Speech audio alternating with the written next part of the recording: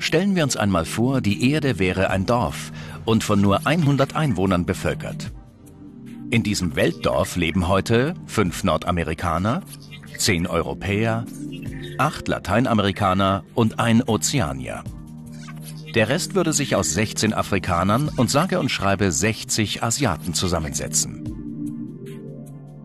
Sehen wir uns die Verteilung der Weltbevölkerung noch genauer an, fällt auf, dass etwa 75 Prozent der Menschen auf nur einem Siebtel der Landfläche leben und allein 90 Prozent auf der Nordhalbkugel.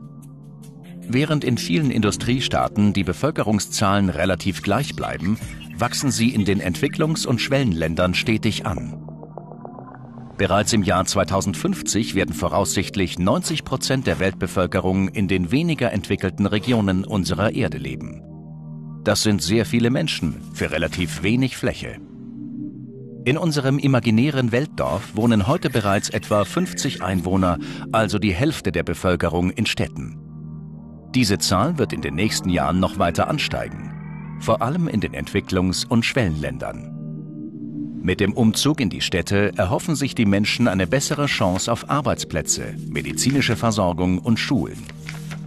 Die Infrastruktur und die Wohnplatzsituation vor Ort können mit diesem raschen Wachstum jedoch meist nicht Schritt halten.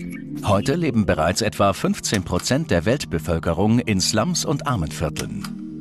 Diese Zahl wird in Zukunft wohl leider noch weiter ansteigen.